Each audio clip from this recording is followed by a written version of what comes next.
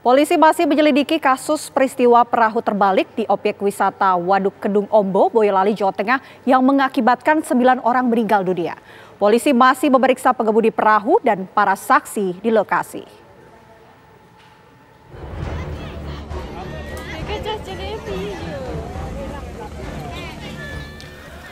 Dua hari setelah peristiwa perahu terbalik yang menewaskan sembilan orang di Waduk Kedung Ombo, Boyolali, Jawa Tengah, polisi belum menentukan tersangka dalam kasus tersebut. Kapolres Boyolali, Jawa Tengah, AKBP Mori Ermon menjelaskan, hingga saat ini sudah ada tiga orang yang diperiksa sebagai saksi, yaitu pengemudi perahu yang merupakan seorang anak berusia 13 tahun, pemilik perahu, dan pemilik warung apung. Kapolres menegaskan catatan pasal untuk para calon tersangka terkait dua hal pelanggaran, yakni pelanggaran terhadap protokol kesehatan dan protokol keselamatan.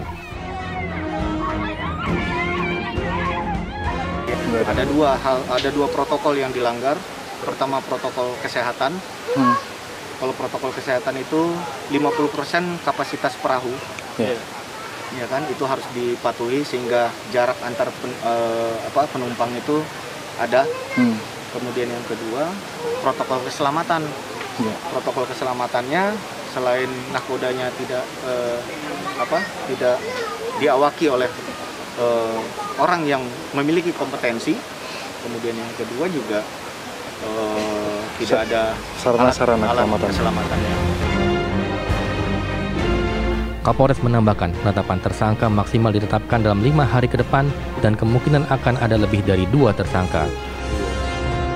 Dari Boyolali, Jawa Tengah, Agus Sabtono, TV One mengabarkan.